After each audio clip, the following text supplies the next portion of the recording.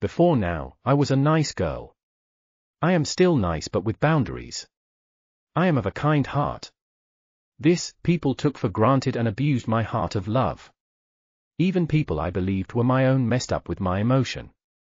I had to sit down with myself and think the way out because I had become unhappy. I came to realize I had given people access to me more than it was necessary. I decide to set my boundaries.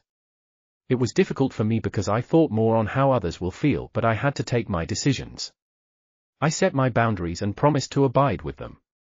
Many revolted against it, but I stood my ground.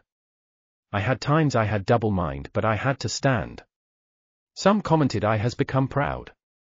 Some stopped being my friend. I didn't mind. I got myself back.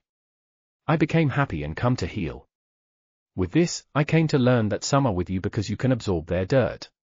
When you stop taking it, they become your enemy. Please let them go.